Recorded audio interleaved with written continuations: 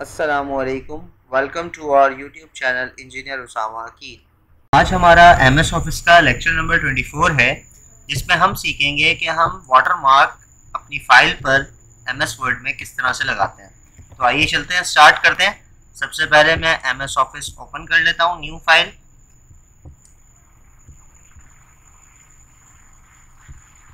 New click करने के बाद यहाँ पर मैं ब्लैंक डॉक्यूमेंट ओपन कर लेता हूँ। अभी आप देखिए मैंने एक ब्लैंक डॉक्यूमेंट ओपन कर लिया है। इसमें मुझे वाटर मार्क चाहिए ठीक है? तो मैंने क्या करना है मैं सिंपली डिज़ाइन में जाऊँगा। डिज़ाइन टैब पे क्लिक करूँगा। डिज़ाइन टैब पे क्लिक करने के बाद मेरे पास यहाँ पे देखें वाटर मार्क का एक ऑप्शन आ रहा है। तो मैं वाटर मार्क पे क्लिक करूँगा यहाँ पे। अच्छा वाटर मार्क दो तरीके के होते हैं एक टेक्स्ट और दूसरा इमेज ठीक है? टेक्स्ट में हम अपना टेक्स्ट लिख देते हैं और इमेज में हम जो है वो आ, कोई लोगो वगैरह अपना लगा देते हैं ठीक है? तो यहाँ पर बहुत सारे ऑप्शन है कॉन्फिडेंशियल कॉन्फिडेंशियल टू अगर हम चाहें तो इनमें से यूज़ कर सकते हैं, नहीं तो हम अपना कस्टम लिखेंगे कस्टम वाटर मार्क पर जाके क्लिक कर देंगे। और कस्टम वाटर मार्क पर जाके क्लिक करने के बाद हमारे पास देखें नो वाटर मार्क अभी चेक हुआ हुआ है। अगर मैं टेक्स्ट वाटर मार्क पर क्लिक करूँ और टेक्स्ट पे जाकर यहाँ पर मैं लिख दूँ, अगर अपने चैनल का नाम लिख दूँ इंजीनियर उसामा अकील। ठीक है? तो फिर उसके बाद आपके पास ये फॉन्ट है फॉन्ट का आप स्टाइल यहाँ पे चेंज कर सकते हैं, ठीक है?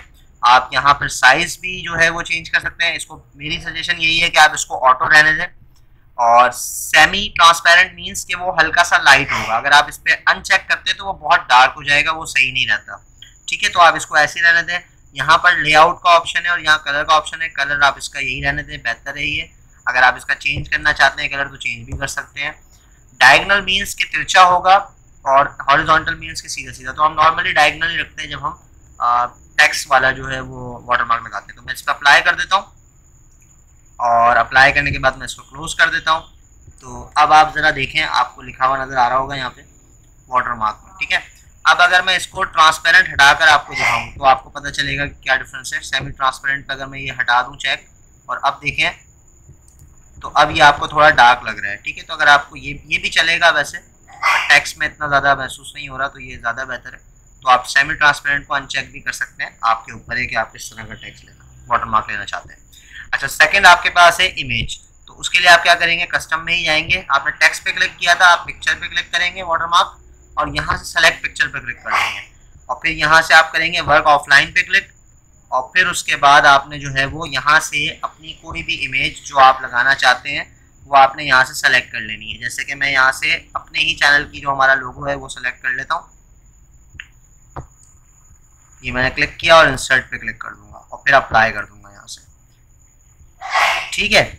तो अब आप देख सकते हैं कि हमारा जो चैनल का लोगो है, वो लग चुका है। क्योंकि ये इमेज है, तस्वीर है, इस वजह से ये वाजे नहीं हो रही। तो मेरे ख्याल से मुझे कोई और लगाना चाहिए ताकि वो वाजे हो। तो मैं जाता हूँ सेलेक्ट पिक्चर पे।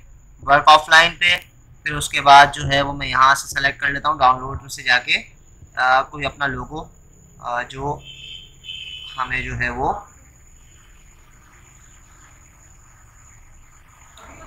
ये वाला लोगो लगा लेता हूँ मैं यू ए लोगो और इसको अप्लाई कर देता हूँ।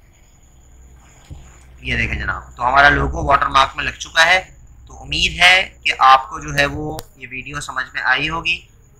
तो अपना ख्याल रखिएगा। अल्लाह हाफिज़।